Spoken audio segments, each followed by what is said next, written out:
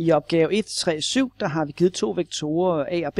Vektor A er t over 5, og vektor B er t minus 3 over minus 2. Vi skal bestemme de værdier for t, der gør, at øh, A, vektor A og vektor B er vinkelrette, altså ortogonale. Så der skal jo gælde, at øh, hvis to vektorer skal være ortogonale, så skal deres prikprodukt være 0. Så vi sætter ind og prikker de to vektorer sammen, og så regner vi ud, x-komponent gange x-komponent plus y-komponent gange y-komponent. Det vil sige t gange t minus 3 plus 5 gange minus 2. Og når vi ganger t i parentesen her, t gange t, det er t i anden. t gange minus 3, det er minus 3t. Og så 5 gange minus 2, det er minus 10. Så har vi den her ligning her. t i anden minus 3t plus 10 er lige med 0. Og det er en anden grads ligning, hvor t er den ubekendte. Den løser vi på normal vis, med at vi aflæser koefficienten til t i anden til t og konstantbedet. Der står t i anden, så a-værdien er 1. Der står minus 3t, så b-værdien er minus 3.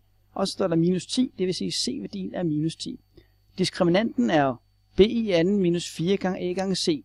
Minus 3 i anden minus 4 gange 1 gange minus 10. Minus 3 i anden giver 9. 4 gange 1 gange minus 10, det giver minus 40, så der er 9 minus minus 40, det er 9 plus 40, det er 49. Da diskriminanten er positiv, er der to løsninger. Og den første løsning er så minus minus, altså minus b plus kvadratrod d divideret med 2a. Det vil sige minus minus 3 plus kvadratrod 49 divideret med 2 gange 1. Det gør vi pænere, så der står 3 plus 7 kvadratrod 49 divideret med 2, som er 10 divideret med 2, som er 5. Det er den ene t-værdi.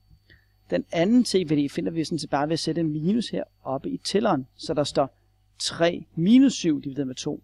Det vil sige minus 4 divideret med 2. Det vil sige minus 2.